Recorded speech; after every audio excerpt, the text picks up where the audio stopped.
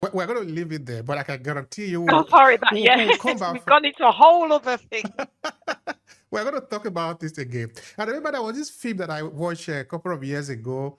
I think it called um, it was a research, a kind of a research film that was done by Americans. I think it was called uh, Mother Eve or something where they were uh, researching about the uh, the genetic code of humanity. Mm. Of course, everything is traced back to Africa, and that that is a common a common sense anyway. Yeah.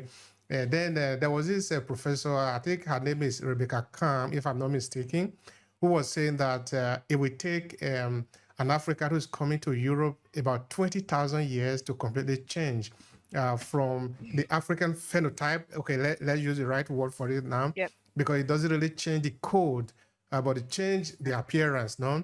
Uh, to change from an African appearance to a European appearance, which is basically uh, you now um, metamorphosing. You are you are changing in response to where you live, your environment. It will take about twenty thousand years.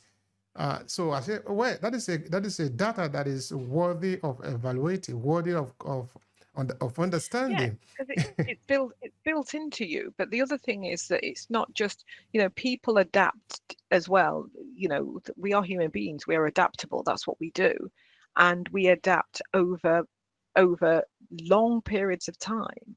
So you know if you think about some of your genetic material is always carried forward you know um, and some genes are, are dominant and some genes are, are recessive.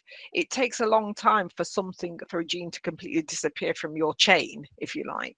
This is not a overnight thing. And so that's the reason why.